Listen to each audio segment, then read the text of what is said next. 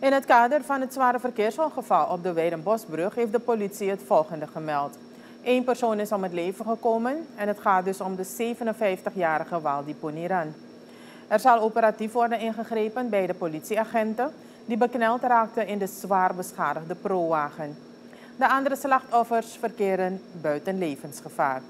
Uit het voorlopig onderzoek is gebleken dat er bij de aanrijding 17 voertuigen betrokken waren. Deze zijn naar de berging van twee sleepbedrijven gebracht. De veroorzaker van deze aanrijding, de 47-jarige DAF-truckbestuurder, reed met een groot aantal houtblokken vanuit Meerzorg naar Paramaribo. Hij heeft verklaard dat de remmen het begaven op de brug. De truck kwam eerst in botsing met een sleepvoertuig welke bezig was met sleepwerkzaamheden, waarna de andere voertuigen werden geramd. Het rijbewijs van de truckchauffeur en de truck zijn in beslag genomen.